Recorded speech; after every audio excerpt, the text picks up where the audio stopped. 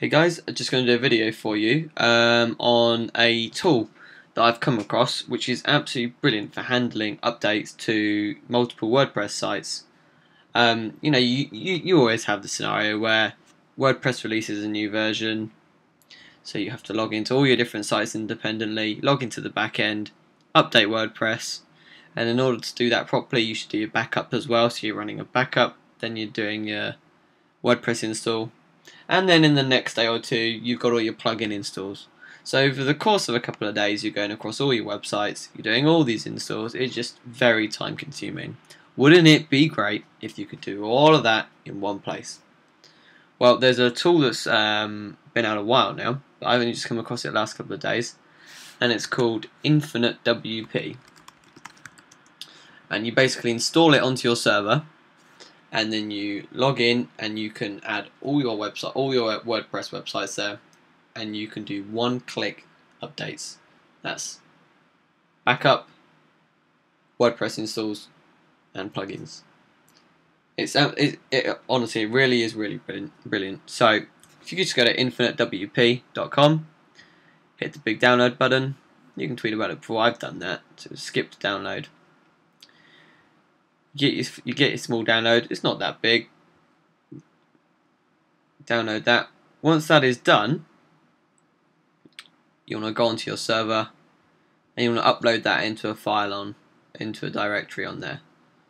So what we'll do is we'll unzip this, create a new folder. We'll call it oh, WIP. We call it um, IWP, Infinite WordPress. And what we're going to do is just going to extract all the files and upload them into onto the server. It won't take long, there's only 160 odd files. And so basically, once obviously that's all done, you just navigate to that through your browser and um, and then set it all up. So let's go ahead and do that. Right, so my WP, want to go and okay, if I spell my own name, for such IWP, has that finished? Nearly has. Now you do have to set up a WordPress database, um, which you can do through your hosting. Doesn't take long to do. Um, this is the install process. Just click next and next. Make sure this is ticked which is P PHP versions and, and permissions on your server and stuff. So I'm just going to quickly pause the video while I fill all this in, and then I'll be back in a sec. Okay, so we're back. Right. So once you've entered all your database details, press next. You need to then add in uh, your email address and uh, then your password, and then you're done. So I won't save that. Um, you need to delete the install folder on the server. So I'll just uh, just quickly rename that for now. Yeah, we'll pretend that's we'll pretend that's installed. Uh, we'll pretend that's deleted. Sorry. Right. So once that's all done, you just want to go to your URL IWP. You got your login screen. So that's maximum, and then my super secure password, and then you're in.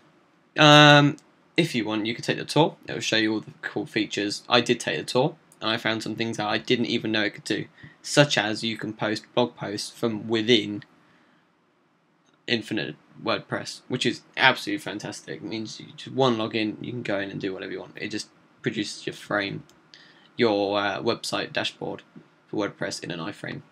Still on the same URL, nothing changes. Right, okay, so get rid of the tool. So this is your main dashboard. Everything you need is here. You have your process queue so you can see what you've done. That includes backing up what you're doing at the moment, anything you've got timed to do, um, and anything you've done previously, which you can also see from the activity log. Okay, so obviously the first thing you want to do is add a site. So I know that on Schooler, there has, since the recent WordPress update to 3.4.1, um, one of the plugins needs a lot of updates and needs 11 doing. Now, obviously, this is if this could be a plugin you use on multiple sites, means you've got to go in and, and, and on all your different sites and do all your updates. With the IWP, one click and it's all done. So click on add website down in the bottom corner, put in the URL, the username, and then you want to go to the website that you want to add to IWP. You need to add a plugin, and the easiest way to search this plugin is just to search for IWP, and it's the IWP client. So you install that, and when you activate it, you get a, a box that appears at the top with an activation key. You want to copy that, and you want to paste that into the add WordPress site box on IWP. So once that's added, that will appear in the listing and you'll see it's got 11 plugins that need updating. You think, ah, that's excellent. You know, one click and it'll be done.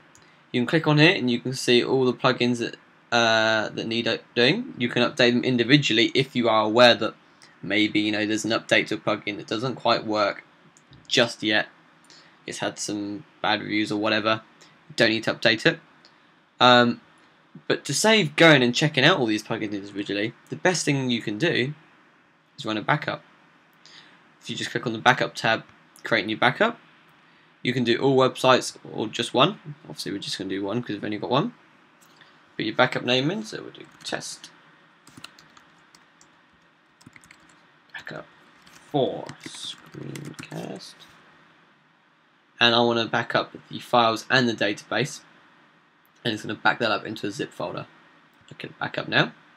In the process queue it's going to show you that it's doing the backup and that is really not going to take long at all, maybe a minute or so. And basically, right, so that's done. That backup is completely done, it's ready to go. So if you reload data here, you'll be able to see that that backup is now showing a backup for Schooler done then. It shows you the size of the backup and you can restore it from within IWP, which is it's the best thing you can do. If you've done an update and it doesn't, the update WordPress uh, WordPress update doesn't quite work, you can just restore it within here. Um, if you want to download that backup, you can either download it through here, or if you want to download it through FTP, um, you want to go to your content folder, Infinite WP, backups, and then it should be. Oh, of course, it's not there. You need to log on to the website's individual hosting. Um, so that's in there. So you want to log on to there. WP content. WordPress backup. And there it is there. There's a 74 meg file, which is that file there. So, aside from the backup, when you're ready, when you've done all your backups, do one click and you want to update WordPress, update all, done. That's going to update in a couple of seconds, and your plugins will be ready to go. And that's pretty much it. Um, you can add as many sites as you want in here. You can also create groups.